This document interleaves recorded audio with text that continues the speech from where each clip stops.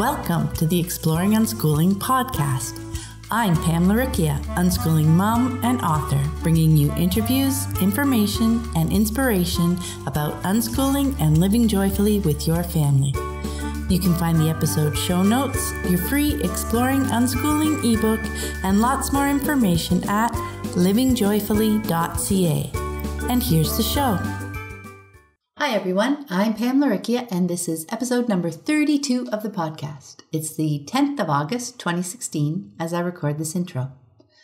In this episode, I chat with Alex Polikowsky about when an unschooling child chooses to go to school.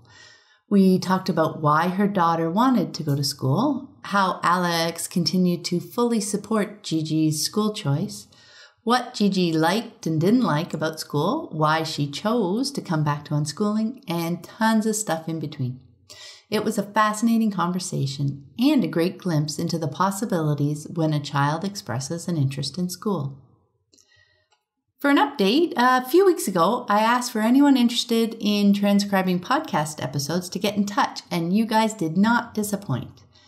We've created what so far seems to be an awesome team of people, and that means we've got the depth to cover each other when transcription needs bump up against our unschooling lives. And now I just need to get ahead with my recordings so that they've got more than a couple of days to work with. So, if you go to livingjoyfully.ca forward slash podcast, you will see a link to the transcript beside episode number 32. Yay! The team will also be working on the backlist episodes, so eventually the information and inspiration from all our guests will be available to read as well as listen to. I am so excited to be working with them, and a big thank you to everyone on the team. Thanks! Uh, the quote this week comes from Seymour Papert. Papert passed away a few weeks ago at the age of 88. He's the author of a number of books, including The Connected Family, Bridging the Digital Generation Gap, and Mindstorms Children, Computers, and Powerful Ideas. Lego Mindstorms is actually named after his book. He was a professor at MIT for much of his career and worked on learning theories, especially the impact of new technology on learning in general, which grew out of his time as one of Jean Piaget's proteges. So, Papert said, I am convinced that the best learning takes place when the learner takes charge. I think this ties in so nicely with the school choice topic this week. When the learner is in charge and making choices, that's where the best learning is because that's where the child's or the adult's thoughts and questions are. That's where connections are primed and waiting to be made. The key, though, is to remember that a choice made in pursuit of learning isn't a forever choice. For learning to thrive, they need to be able to incorporate their experiences into their next choice and into the next one. They need to take charge. And now, let's listen to the interview and hear how Alex supported Gigi's choices in her pursuit of her own learning.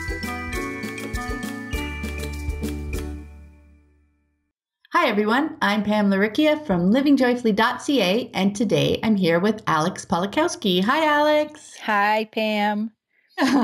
I've known Alex online for years and was lucky enough to meet her in person when I spoke at an Always Learning Live unschooling conference that she hosted in Minneapolis. I had a great time hanging out with her, meeting her husband and her kids, and getting a brief glimpse of life on a dairy farm. I'm really looking forward to chatting with you, Alex. So let's get started. Our first question is Can you share with us just a bit about you and your family and how you came to unschooling? Hi, Pam. It was great having you here too. And uh, was it two years ago already? Yeah, it feels. Uh, Brian and I are older parents. I had my first son at 36, and our daughter was born when I was 40, almost 40, two days before so we really wanted to have a family and i knew that if i had kids i would be very dedicated and involved and and be with them. And brian was the same way. He just wanted to be there with our kids. I'm from brazil and brian is a minnesota boy and we're dairy farmers full time so we live in a farm and there's no sunday saturday sunday weekend or time off really. We, we just work every day, pretty much. Mm-hmm. So we came to unschooling. We we had our first baby, uh, my son Daniel. He was very high needs, and I I was very protective, and and he stayed in my lap all the time, and I loved it, and I couldn't put him down, and he wouldn't let me put him down. And I started by going to the mall and wanting to get a baby book. I had no baby books, and so I was looking for a book, and there was this big baby book and I picked that one up because my baby was starting to get fussy, and it was Dr. Sears' book. And he talked about attachment parenting, which is pretty much what I was doing. I didn't know about using a sling, which really helped when I learned to do it since I couldn't put my baby down. And from there, a few months later, I Googled, um, probably wasn't even Google back then. I, I searched the internet for natural parenting and came I came upon Jan Hunt's website, The Natural Child. And that's how I first heard about unschooling. And I started reading. I had no idea, even though I was reading there, I had no idea what it meant. Um, but I loved a lot of the things she wrote and other authors wrote. And when my son was about two years old, I came up came to the Yahoo groups. That was um, always learning, and schooling basics, always unschooled.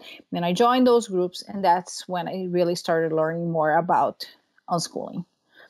So I was lucky to start early on and to start reading about it and practicing and uh, unschooling when my son was a baby and then two years old. Yeah, that's really nice. I would appreciate that. um, so now to hit the topic of this week's episode, let's jump ahead um, and tell us a bit about your daughter, Gigi, and uh, her choice to go to school last year. I was wondering if you could share with us how that choice came about for her and what the motivation behind it was. Gigi had mentioned that she always uh, that she would one day want to try school and see how it was. So a year before she went to school last year, she went as soon as school started. So the year before she was thinking about it and then she decided no no let's uh, i'll try another time. And last year she it, it came august she said i really want to try school. And it was she was nine years old and she would have been she was fourth grade. And i thought it's a good good time for her to try since she's not in middle school and and ele- you know she's still being in elementary and we really have good schools here. Our my the, my school district has a really really nice school um, that is supposed to be one of the best in the state and supposed to be very peaceful and safe. And then i said okay that's what you want to do. And she's i want to go. I want to learn. She had this idea of school being a place you go and you learn learn learn because she's a very smart girl. She knows a lot and she's she was reading fluently and she's great in math. Um, in a way that the, the, reasons I know she's great in math is because she has a horseback riding instructor that is also a teacher and she teaches math since and she's had this instructor since she was five years old. And while talking and having horseback riding lessons this teacher is always oh my god gigi she's so smart. She knows math. She knows the concept. You know my sixth grade students don't get it and she knows it so that's the reason not because i was testing her or quizzing her or mm-hmm. trying to figure out. So I know she was learning a lot. She's amazingly in the farm. She knows all the cows, all the names, all the breeding. She knows things that uh, many dairy farmers don't know. But she had this impression that school would give her all this learning. Like when somebody would say a name of a country and she didn't know, she was under the impression that if she joined school, she would know it all she would mm-hmm. have this full knowledge of everything in the world because yes. she's thirst her thirst for knowledge is big she's very curious yeah. and, uh, and i think another thing that did attract her was social mm-hmm. interactions mm-hmm. she has a lot of friends online she had some good local friends and she does go to 4-H and she does girl scout and she has friends there but she she and her best friend of many years kind of had a fallout and they haven't been friends since. And I think she was missing maybe trying to find a friend like that, a best friend. So I signed her up and came the day came for her to go for her first um, test they, they kind of have a meeting before. And she tested super high on classes and she went to a teacher that was more into math because she was so doing so well in math. And she was so excited. We bought everything for her all the school material and she was thrilled. She went to school uh, the first day so excited didn't even look back it was it was so i think that it was two things the impression that it, the kids get sold that you know learning happens in school that she was going to learn everything about everything in the world there was not going to be anything she did not know and mm-hmm.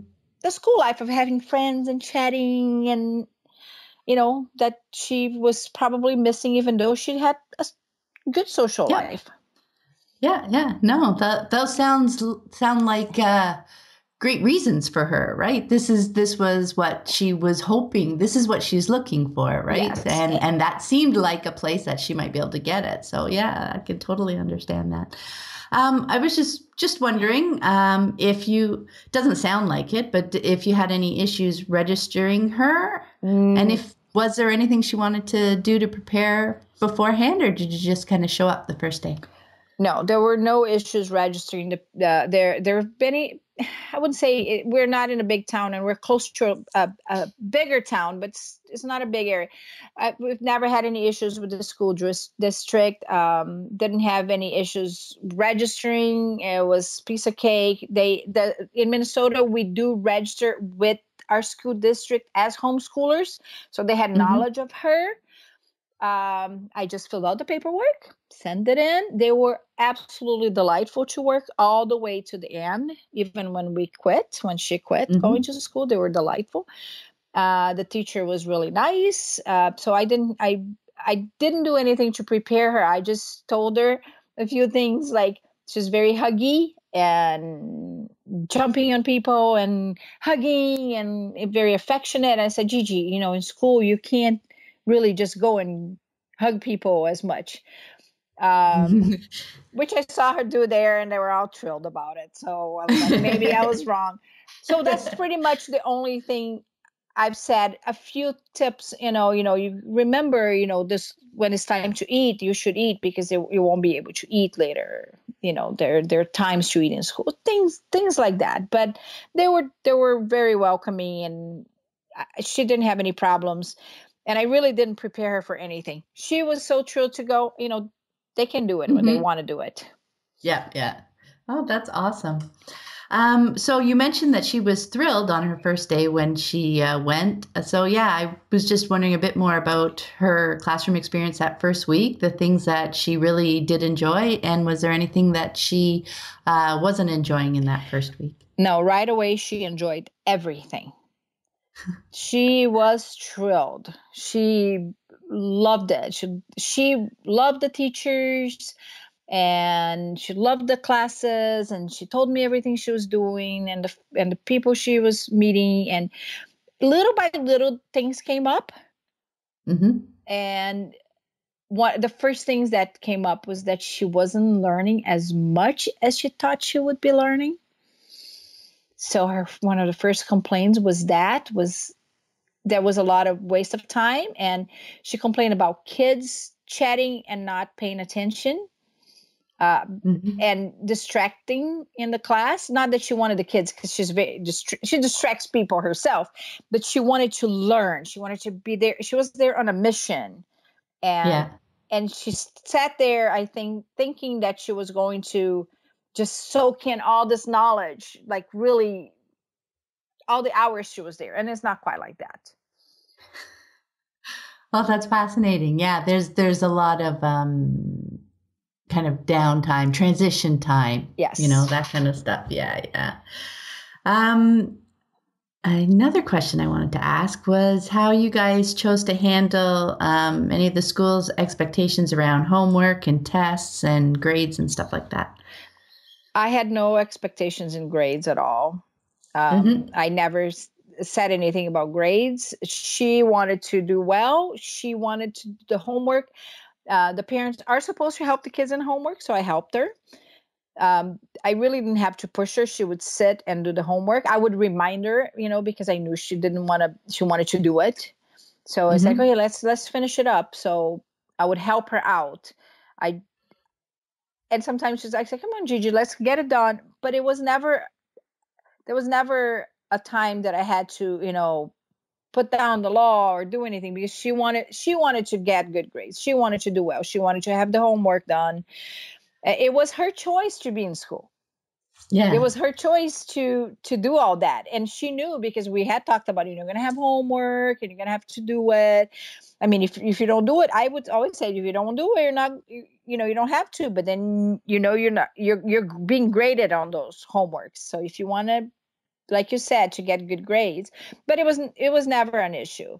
Um she uh actually one time there was a parent teacher conference, the first one, and we went and actually the kid presents the conference. It was really nice and said what the things she needs to work on and it wasn't anything. And right after the conference, both her math teacher and the other teacher that does half the classes was more of the language teacher they came over and they went on and on and on to me about how wonderful Gigi was, how motivated, how her way of thinking was so different than the other kids in the class, how she would come up with answers and think in ways that the other kids did not.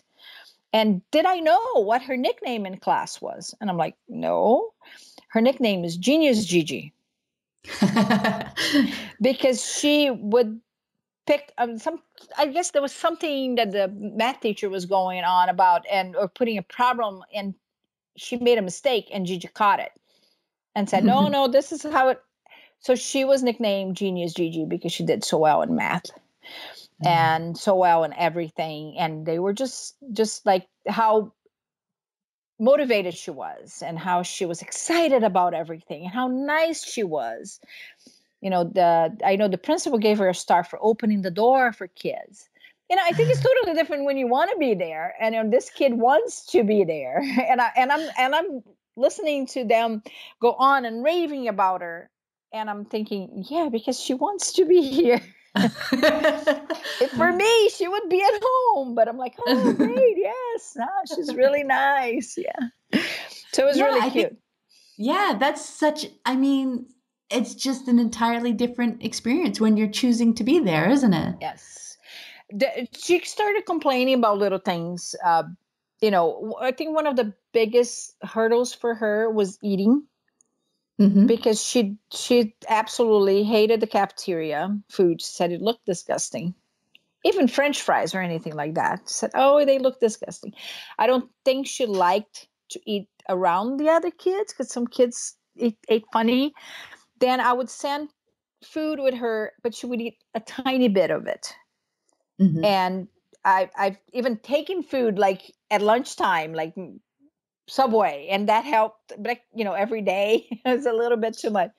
Yeah, I send. I got a, a terma and I send hot food, and then you know, it's just because she's so used to being at home and eating, you know, and she eats a lot. She eats all the time. That that kid eats she's always been like that. She's like a little bird. Every hour mm-hmm. or two, she's like, I'm hungry, and you have to feed her. So being in school and having lunch, and they do have a little snack uh, at like 10 o'clock in the morning. It was just too hard for her.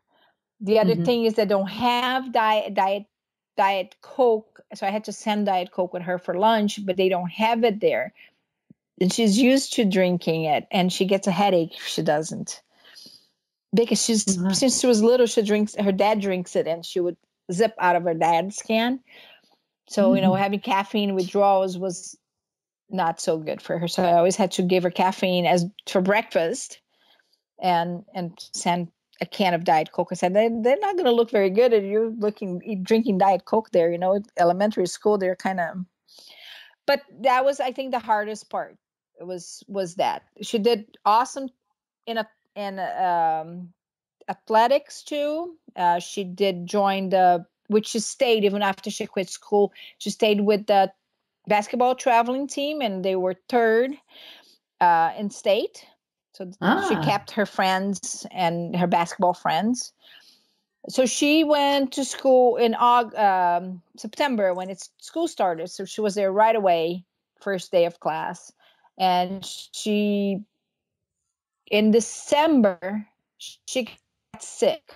She got pretty sick, and that was one of the things too. She did get sick more often being in school than she did not than she when she's not going to school, even going to all kinds of social events and it's just, I guess, the way school is in close quarters, or mm-hmm. maybe it mm-hmm. was just a bad year for her.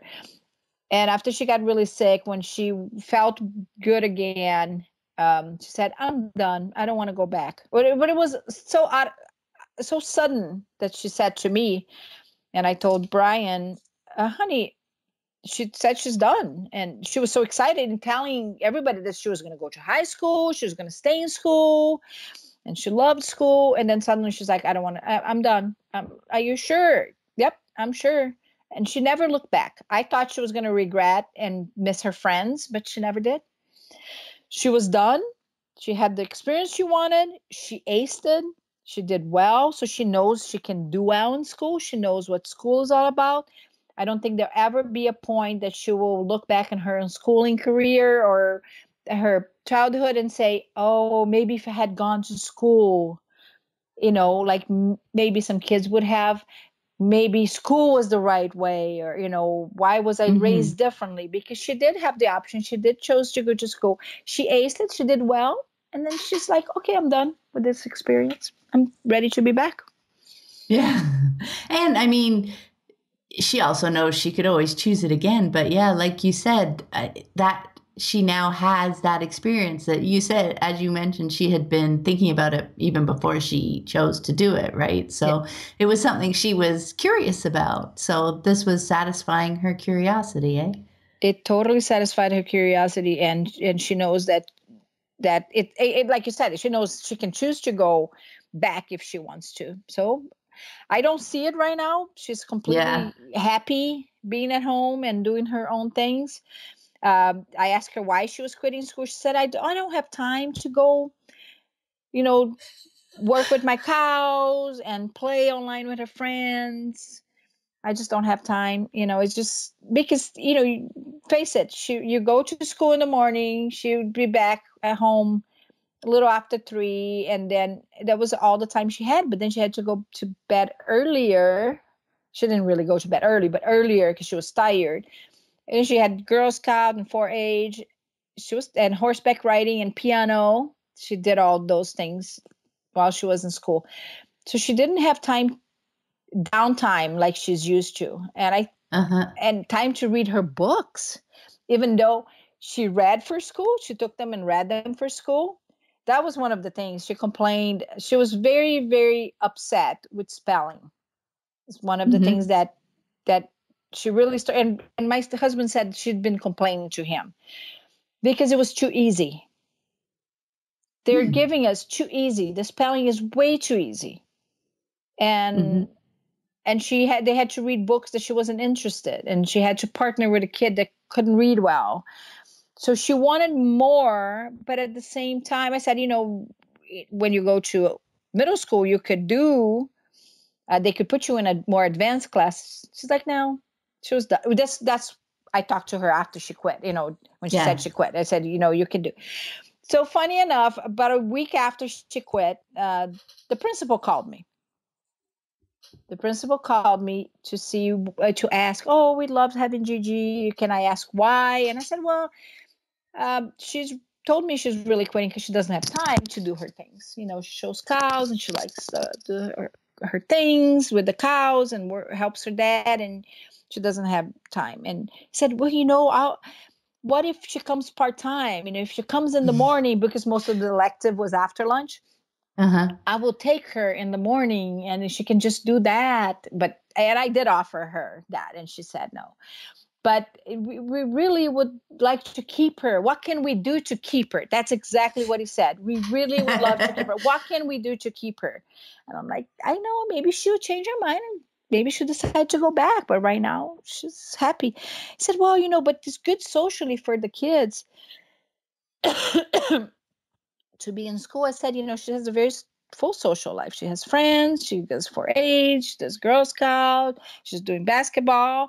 She does piano, horseback riding. So she just has a pretty full schedule. And he's like, yeah, yeah. And and and there's a big group of homeschoolers that do a lot of things. So it's like, oh, okay, okay. But if she ever think, if she ever wants to come back, you know, we'll, we'll work with you. We'll do something. Well, that was very nice of him. he was a very nice guy. I liked yeah, him. Yeah. Oh, that's awesome. So I had a great I, think, I had a great experience as a school mom. Yeah. With oh, with a nice with nice people at school to work with. So that mm-hmm. was good. That was that was really nice to be able to have that kind of team experience that everybody's kind of supporting your daughter, right? Yeah, they were. They were pretty great. Yeah. That's awesome. I think um, there was a couple of really cool points. Um, her noticing that she was missing out on the downtime. Like she was keeping up with as many activities as she could along with school. But, you know, conventionally we don't really value that downtime, but it's so important, isn't it? You know, it's just processing time. It's, I, I guess, I mean, relaxing, yes, but it is so important mentally and emotionally. That's how you kind of put it all together, isn't it? I think so. I think so because her her downtime is not really a downtime. It's mm-hmm. just time for her to do things that are valuable for her. Mm-hmm. You know, work with her dad, be with her dad, uh, play with her friends, and when they're playing, they're learning so much. They're doing so many interesting things. Read her books, uh, Warriors. That's she loves it and she reads it over again and she, she now she's in, on instagram she doesn't post but she likes to read. And it, it's just there's no time you know you're in a hurry. Yeah. i remember the, the, the weeks were like get up take gigi and then go pick up gigi and then take gigi here. So your life is different. Um I, I, and i know you're going to ask about how we went with my son being home. He's very easygoing and he does his mm-hmm. own thing and so it wasn't too bad I I wasn't too pulled in different directions by that. He is 14 and he's very independent, very uh-huh. easygoing. Uh-huh. And so it wasn't too bad. If I, I guess if I had younger kids that I had to give more attention and if I wanted to take them to do things during the day, I would I would be restricted by the school hours. Yeah. But it it, it wasn't the case with us, so it yeah. worked out well. Oh, that did work out well. Um, before I forget, that other thing I was going to mention that was uh, interesting because I remember um, when Lissy in, in Girl Guides before it was probably she would have been in maybe grade eight ish because I know they were talking about how fun high school would be, and they would uh, they would always comment to her how she must be so bored because she wasn't going to school, right? Uh-huh. They just could not imagine that there was anything else to do outside of school. It's funny that you're mentioning that because um, I think right after she she left school, she really needed a downtime, but at the same time, she would did mention for the first time she would say, "I'm bored," mm. and it was because it, she had to kind of deschool for a little bit, I think, mm-hmm. from having to do things that she that were not her choice. So there wasn't yeah. a little bit, even though she was only there for six months or less, it, there was a little bit of of a transition time from being in school to you know doing her own things until she yeah be- you kind of get used to have people telling you, you know, having since you've got those hours and things you have to do in those hours. I guess you can get used to it pretty quickly. Yeah, yeah, yeah. It was it it it, it wasn't long, but it I I noticed that she wasn't as motivated to do her, her the things she loved, and I think she didn't just she just needed to do nothing, mm-hmm. just to not go anywhere, and if she didn't want to, just to kind of. Yeah chill and and decompress from all that. Ah, decompress brief, is a great word. As brief as you know, as her mm-hmm. experience was, it was a semester. Yeah. Oh, that's really interesting. Yeah. That's great. Um, looking back, Uh, how do you see your unschooling principles were continuing to support Gigi while she was in school? I think it helped a lot. It helped yeah. keep it peaceful and it helped me from becoming the nagging school mom that are always on top and of the kid do this do that you know with homework or or with getting up in the morning. You know there were times that she did get up she's like oh i don't want to go. Are you sure? I know i would really make sure that that as if you're gonna miss and most of the time she went but there were times that she did not want to go to school that day and and there were few but you know i was able to like okay well we don't want to go but i made sure she was not going to feel like she's missing something you know you can always go later if something happens you know mm-hmm. if you mm-hmm. decide you change your mind so i think it helped me be a calmer school mom more, yeah, your focus was more supporting her in her not getting to go. Yeah, yeah, and not being school being the end all of the relationship or the life. You know, for many school kids, yeah, school is everything. Is their life. That's yeah. their job. Their everything. School was a choice here, so we made an important choice. I honored her her wish, and I I I didn't take it as as light, like oh she's just going, but she can quit. I made it serious because she wanted it to be a serious thing. Yeah. So I didn't yeah. make light of it, which I, am afraid maybe some parents would like, oh, just going, but I don't care. No, I said I, I was as serious as she was, but I was as serious as just supporting her. I volunteered. I went and I did face painting for the class. I went to the book fair. So I did all the school things with her, very happy to do it with her without complaining. I tried as very hard not to do the oh see oh you know when she complained about something to listen to her but not to respond going see that's if you were home you wouldn't have that.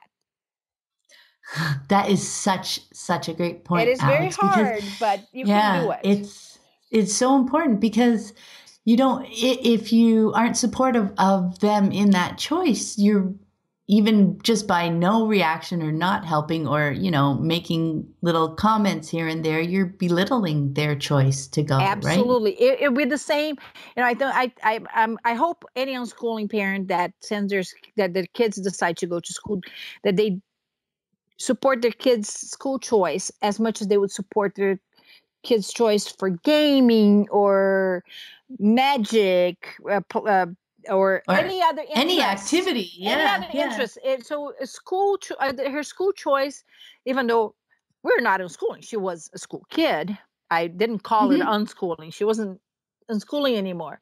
But by using the unschooling principles it was her choice so i supported that passion as i did the same way i supported her passion of showing cows or that i support her brother's passion of japanese and gaming you know it so i didn't make light of it. I didn't say oh it's just you know she's just going there uh, you know she can she can quit whenever she wants. I didn't keep saying things like that. She was going to school and that was it. Mm-hmm. yeah well because i mean she knew she could quit and you know as long as you keep the communication you know free and open you'll uh, you'll hear clues from her and help help her it's the same way you know as like you were saying as we support um, say their interests. Like when Lissy went to Girl Guides, when they asked for parent volunteers for this activity or that, I would ask her, you know, would you like me to help out with this? Or is this something you'd like to do on your own? Right? Sometimes yes. she it was something that she really wanted to be totally independent and go do that camping weekend all by herself with you know with other parent volunteers without me there. Same with my karate you know and, and the same as you talked about with gigi in school. Yeah i think that's such a great point. Yeah, I'm I'm afraid some people would keep saying, you know, you don't when she when you complain about something, it's like if you if you keep putting fuel in the fire like the kid is complaining oh you know today at lunchtime was boring or something and you mm-hmm. say see but if you if you were home you didn't have to that's just belittling what they want and it's just not supportive so i hope nobody no. does that you know i would just say oh you know Gigi, but maybe you can do this you know I, so i tried to help her do what she wanted without making it like a, a choice out that i despised that she knew i didn't like You know? Yeah, no, exactly. Because you're helping them brainstorm and process with the goals that, that they're trying to uh, get at, you know, with with their choice. Absolutely. Such yeah, yeah. And I, I have to say, I, I, did love school when I was in school. I mm-hmm. loved it. So I don't come from that experience of not liking school. Her dad d- did not like school, but I loved school. I think unschooling is better, and that's why we unschool our kids. But I don't hate school. I, for some kids, school is much better than any other choice. Mm-hmm. So sometimes I, it's a good fit. It, it, it is. Well, sometimes it's better than being at home, even. Yeah. so I, I know, but even for some kids, if that's they, what they want to do, I'm I'm completely fine with supporting them. So it, it was it, at the same time that it was hard. Am I failing? Am I not? Am, am I not fulfilling her needs? Which I did. Um, when she had mentioned the year before that she wanted to try I said I, I did make an effort to find more social uh, social interactions for her, more more for her. I wanted to make sure is she thinking about going to school because I'm not fulfilling a need that she has. So that's very mm-hmm. important too is to find out why they wanted to go to school. But the conclusion, you know, I you know, and I did. I found more things for her to do, and but in the end, she really wanted to try. She really wanted to see if it was all she thought it was. Mm-hmm. The idea yeah, she had that is sold to the kids in TV shows and friends talking about it. Yeah. Yeah, no, that's a great point. When they, you know, first mention it in conversation, it's it's a great time to dig into it and to try and, you know, you're you're trying to find that motivation or what what they um, think or hope to get out of the experience. And like you said, you may find that um, it was just a wish for more activities or a wish for more social connections. But, you know, as you thought about that, dug into it, you came up with it was really the school experience that she was looking for, right? Yeah, she was looking for what she her friends talked to about. Um, she mm-hmm. was thinking, you know, you're going to go to school and you're going to learn all those things, and and it was fine. And I'm glad she tried, and I'm glad I was able to support her and mm-hmm. be there for her, and not be the parent that was dismissive. Yeah, yeah, no, that's that's a super point. Now, when we were chatting in preparation for uh, our talk today, you mentioned that Daniel is applying to go to A level high school in Japan. So I was hoping you could talk a bit about how that came about and what he's doing to prepare. Yes, yes, uh, I know. I'm. Uh, he. It's funny. All this time, I've always asked, you know, if he wanted to go to school. And Gigi went to school. I said, "You do you want to try?" Because I yeah. want them to know that they have a choice. And he's like, "No, no, no." So he's always liked things Japan, mm-hmm. but somewhere in the last two, three years, maybe, it's gotten his interest has grown, and I think that. um him falling in love with physics has some something to do with it. Mm-hmm. And we were talking, we were chatting, and and then he came to me and he said, I he wanted to learn Japanese, and I gave him some some online free classes that through our library. They're really good. I'm doing Korean too on that, and he was trying to do that, and I got went to the library and got 500 Japanese language books and and physics and math and and that's he wants to do physics. That's he wants to be a scientist i think. He dresses up as a scientist most of the time. Mm-hmm. And we i actually found out for him that tokyo is the fifth best university for physics. And ah. and it's something that well anyway he i don't know how we were just talking about japanese and learning and he said that he wanted to go and do study in Japan as a high school student and to be live like a Japanese and do everything like a Japanese. I said, well, like an exchange student, and you can go for six months a year. And he said, oh, yeah, I want to go. I want to go really bad. So he he was 13 when we had this conversation. You got to be 15. He's going. He just turned 14, and so he would be 15 for next fall. So uh-huh. we're applying. We're already in contact with the Rotary and checking other um, other programs and he is it's all he thinks about is going to Japan and he wants the whole experience. It might be because, you know, he has watched a bit, I wouldn't say he a lot, but a bit of um, anime. Uh-huh. And there's a lot of high school things. You know, they're all Oh, in yeah. high school, they're all in uniforms, which he likes. And and he has this idea that's how it's going to be. Uh, we did have a Japanese trainee that lived with us when he was a baby. So maybe there's a little influence there. And when he was five years old, he went by Naruto. Mm-hmm. Everybody knew him as Naruto. Ah. So ev- that was I used to introduce him as Naruto because that was his name.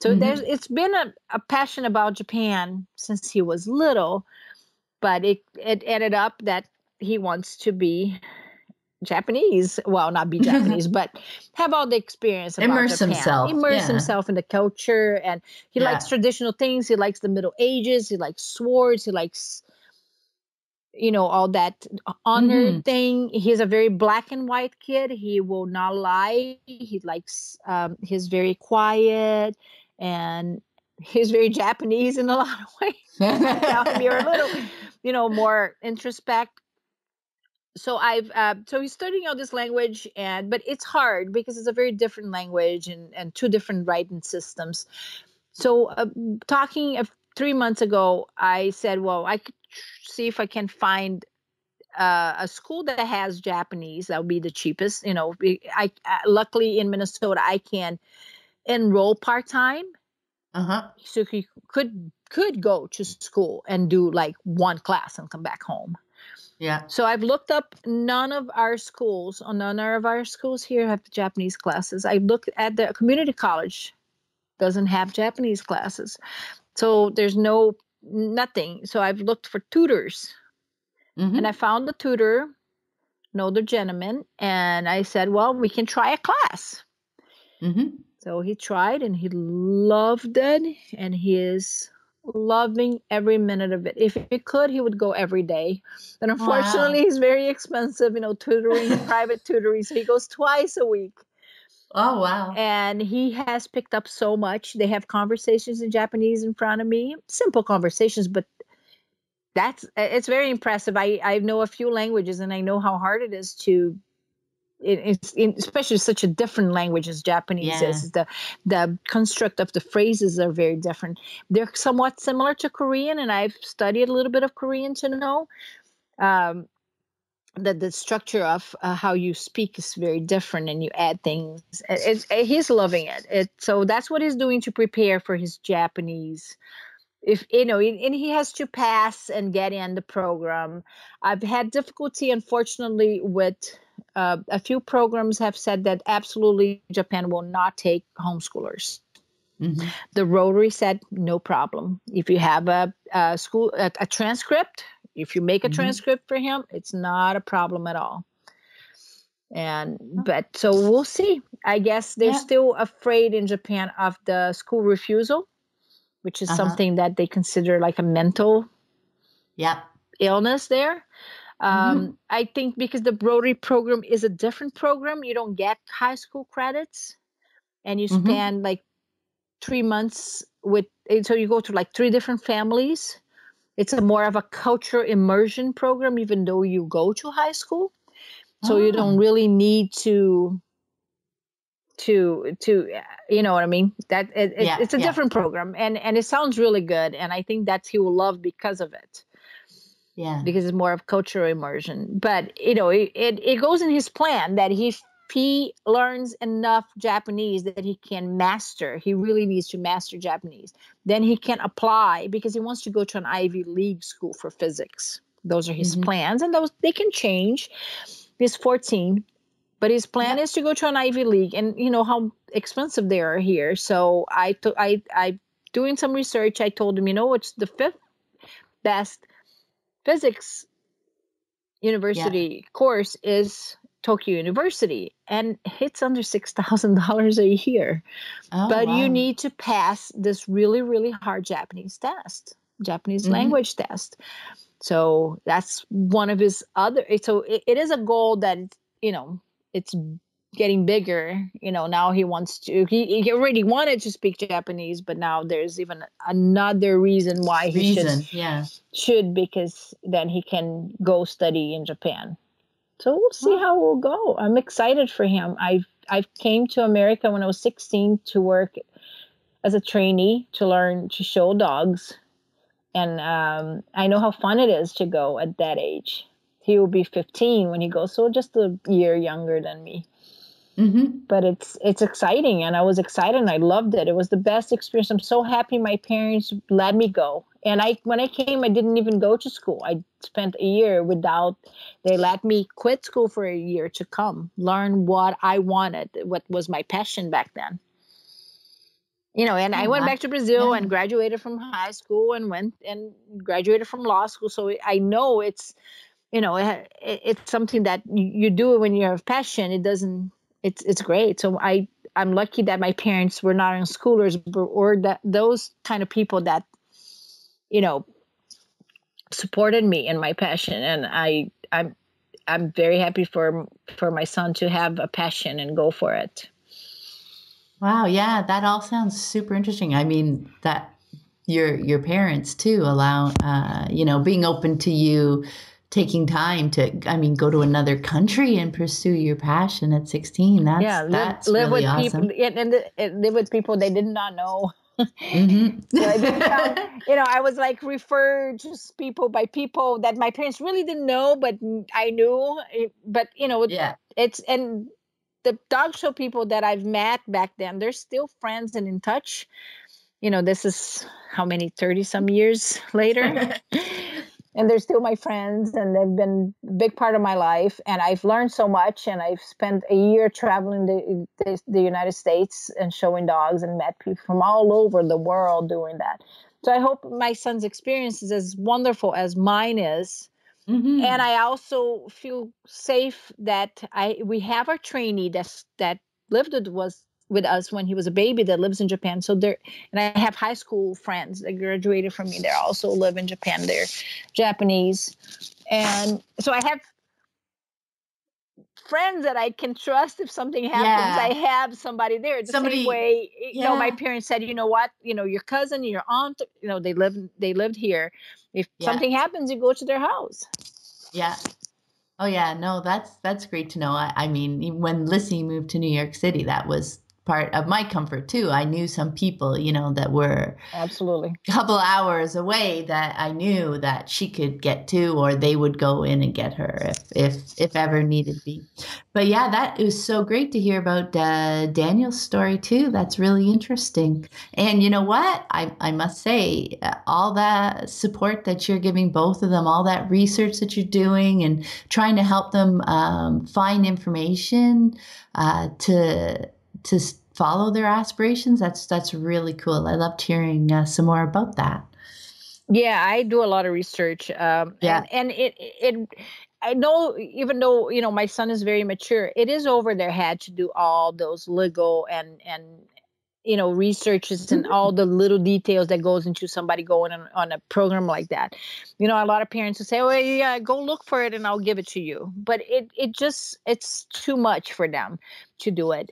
But all my re- being this person that loves to research, I've always been somebody that I hear about something and we Google it and we research. And it rubs off. My kids do that all the time. They do that all the time since they're little. You know, sometimes my son will know things and I'm like, how do you know? Oh, I, I, I read about it. But he read about it because he's Googling, researching, researching. So I know, Oh, I know. because he's seen me doing it, you know, not Yeah. because I told him, go research yourself, go look it up. Sometimes he asks me something and he's just like, Google it, Google it for me. But he's doing like 10,000, oh, not 10,000, I'm exaggerating, 10 times more on his own. Yeah. He's just sometimes asking me to do it. hmm Oh no, exactly. I mean, we'll be in the car, Mike and I, and, and having a conversation. Some question will come up, and he'll like pull out his phone and he'll be googling it because that's what he's seen. You know, that's just we we look for information when we have a question. We just don't go, oh well, don't know that, and Don't know you that. know, Yeah. but, but yeah, no, that point about um, you know, when they're considering something, we have experience to share, like all those legal implications you were mentioning and all that kind of stuff.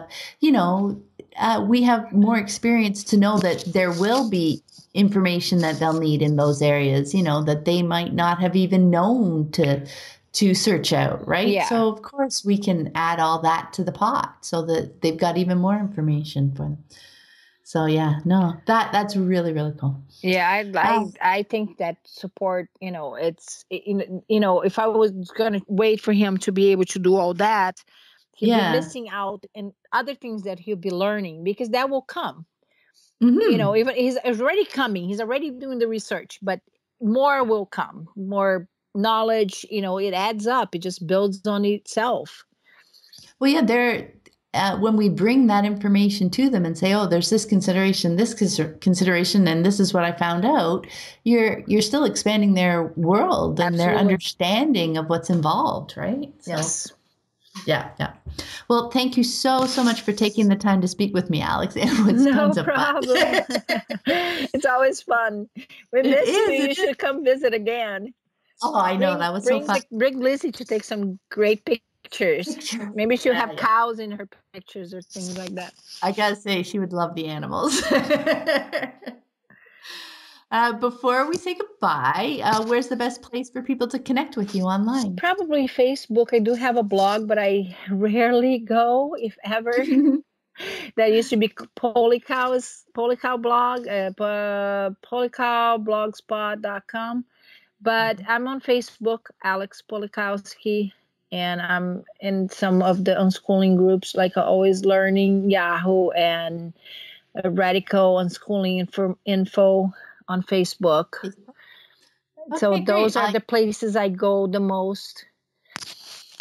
All right. I'll share links to those uh, in the show notes so people can connect with you if they like. And thank you again very much. Have a great day. Bye. Thanks for listening. I hope you found it helpful. You might also like the backlist episodes at livingjoyfully.ca forward slash podcast. And if you'd like to immerse yourself in unschooling ideas and inspiration with a group of like minded parents, check out childhoodredefined.com for information about the Childhood Redefined Unschooling Summit. It's being held in Bethany Beach, Delaware, October 19th to the 21st, hosted by me and Anne Ohman. Registration is now open until September 16th. Have a great day.